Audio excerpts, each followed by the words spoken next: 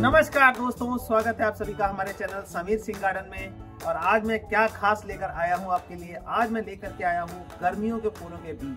अभी आपने देखा कि सर्दियों में हमारे गुलदाउदी देखे या दूसरे फूल देखे, गुलाब देखे, जेरेनियम देखे मतलब सैकड़ों किस्म की जो वैरायटी है, वो फूलों से भरी हुई आपने पाई है। और अभी भी चल रही है मतलब अभी मार्च तक तो चलेंगे, लेकिन अब आने वाली जो गर्मियाँ हैं, उसके लिए भी फूल लगाना है। क्योंकि मार्च में खत्म हो जाएगा, इसके बाद कहाँ ढूंढते फिरेंगे? तो अब आगे के लिए उसकी जो पनीरी है, यानी कि बीज से पौध तैयार करने का प्रोसेस है, वो हमारा अब फरवरी से शुरू हो जाना चाहिए। ताकि फरवरी फरवरी में हमारा प्रोसेस जो है, ये पूरा हो जाए और हम मार्च, अप्रैल से इसको ट्रांसप्लांट करने के लायक हो जाएँ। ताकि ये जो खूबसूरती है, जो आप देख रहे हैं, इतने फूल खिले हुए हैं कि गमलों में इतने इतने फूल खिले हुए हैं तो इन फूलों के खूबसूरती को जो है बनाए रखने के लिए हमें आगे भी कंटिन्यू रहना पड़ेगा। नहीं तो क्या होगा कि गर्मियों में बिल्कुल सन्नाटा सा हो जाएगा। तो दोस्तों, ये सन्नाटा दूर करने के लिए मैं लेकर के आया हूँ। ये देखिए ग्रेस ऑफ़ वर्ड का हमारे एक ही प्लेटफॉर्म पे ये इतने सारे बीज। नहीं तो क्या होता है, बीज सभी लेते हैं, लेकिन एक ही शॉप के ऊपर ये इतने सारे बीज जो हैं आपको नहीं मिल पाते। हम आपको घर बैठे ये सीड्स प्रोवाइड कराते हैं। ताकि आप सर्दियों की बजाय गर्मियों में भी इन फूलों की खूबसूरती का आनंद ले सके। जब गर्मी, जलती हुई गर्मी से इंसान को राहत चाहिए होती है तो फूल देख ले आदमी। ये बारह किस्म है। बारह में देखिए, टिटोनिया।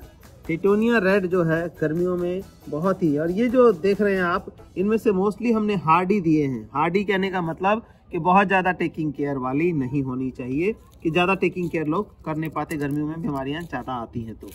तो ये देखिए, ये टिटोनिया हो गया, जो कि रेड कलर का है। और ये हमारा जो है जीनिया डेलिया मिक्स, यानी कि बड़े वाला, मोटे वाला जीनिया जो है, इसको डेलिया मिक्स के नाम से जानते हैं। दूसरा ये कॉस्मोस, तीसरा हो गया कॉस्मोस ब्राइट लाइट। कॉस्मोस का तो एक बार जहाँ उगा दिया आपने, उगता रहेगा, चलता रहेगा। फूल के, बीज बनेंगे, बीज झड़ेंगे, फिर पौधा होगा, फिर फूल फूल आ जाएगा। अगला है, मिनीचर में ये सनफ्लावर सनफ्लावर सूरजमुखी जो है वो मिनीचर में है।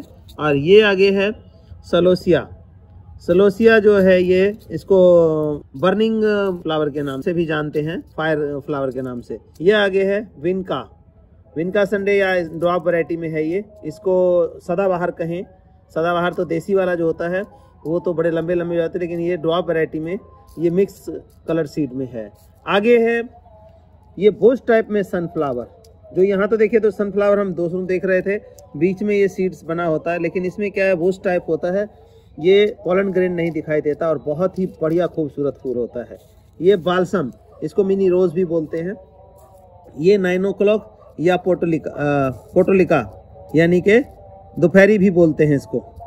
तो ये आ गया आपका सेलोसिया क्रेस्टा जिसको कॉक्सकॉम बोलते हैं।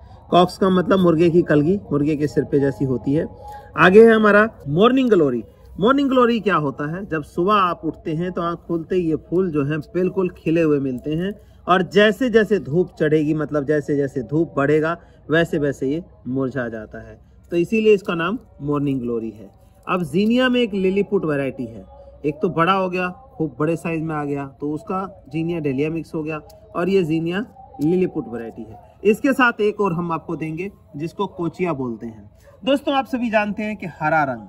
हरा रंग क्या है? आँखों को बहुत भाता है मतलब हमारी आँखों को सुकून देने का काम करता है। इसीलिए प्रकृति ने मतलब परमात्मा ने इतने जो है हरे रंग के पेड़ पौधे की रचना की है। तो गर्मियों में जब जलती हुई गर्मी में, कोचिया जब आपके गमले में लगा हो बोझ टाइप में बना हो तो उसको देखते ही मन जो है प्रसन्न हो जाता है। तो कोचिया हम ज़रूर देंगे। तो ये तेरह तरह के हम सीड आपको प्रोवाइड कराएँगे, जो कि एक ही प्लेटफॉर्म पे घर बैठे आप मंगवा सकते हैं। और गर्मी के दिनों में भी इन फूलों को लगा करके जो रंग बिरंगी क्यारियाँ हैं रंग बिरंगे जो गार्डन है, उसको सजा सकते हैं आप, जैसे कि इस टाइम है। ऐसा नहीं है कि गर्मियों के फूल नहीं है। वैरायटी थोड़ी है, लेकिन अच्छी है और बहुत अच्छी है।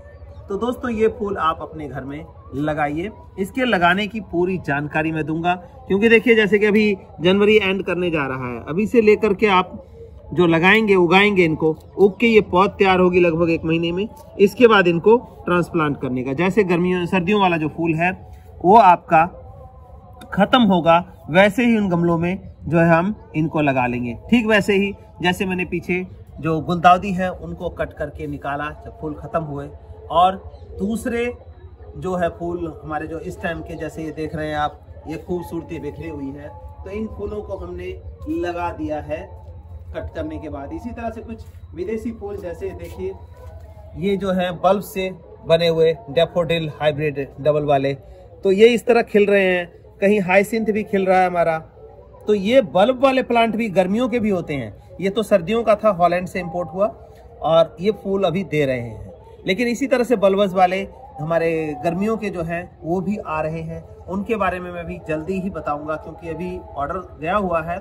तो वो आता है तो मैं आपको बाय फेस उसको दिखा सकूँ और बता सकूँ, ताकि गर्मियों के बल्ब भी आप लगा सकें। उसमें भी कई वैरायटियाँ हैं दोस्तों। तो उम्मीद है आप लोगों को पसंद आएगा। अगर आपको मिल जाता है तो कहीं से भी लेकर के लगाइए। इसका जर्मिनेशन का जो प्रोसेस है, वो मैं अगली वीडियो में आपको बताऊँगा। और नहीं मिलता है तो दिए गए व्हाट्सएप नंबर पे व्हाट्सएप करके आप हमें इन्फॉर्म कर सकते हैं और वहाँ से परचेज कर सकते हैं दोस्तों। धन्यवाद दोस्तों।